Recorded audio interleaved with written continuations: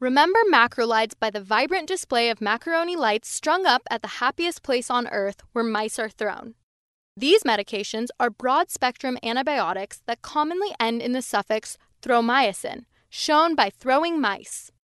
They are considered bacteriostatic, shown by the bacteria being shocked, meaning that they don't directly kill bacteria, but instead inhibit their growth.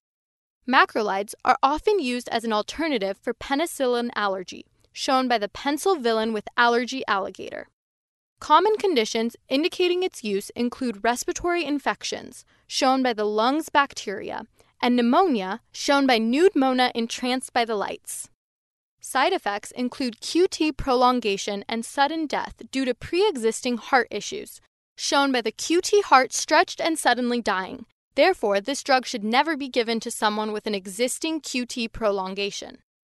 C. diff overgrowth, shown by the classroom of differential equations with overgrowth, is another possible side effect as normal flora of the gut are altered when taking antibiotics, and this can lead to the development of new infections. GI distress, shown by the GI with flare gun distressed after trying to eat the lights, can occur if a buildup of the drug occurs, leading to nausea and vomiting. Lastly, a consideration to be aware of is that this medication should be given by slow IV infusion, shown by the snail IV infuser, to avoid venous irritation.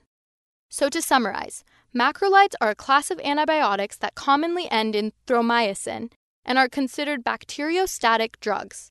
They are used as an alternative for those with a penicillin allergy for conditions such as respiratory infection or pneumonia. Side effects include QT prolongation and sudden death, C. diff overgrowth, and GI distress.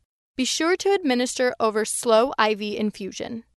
Everything we learned today and more is available inside of the Picmonic learning system. So what are you waiting for? Go to Picmonic.com today and try it for free and find out why over 100,000 students are learning smarter, learning faster, and remembering it longer with fun pictures using Picmonic.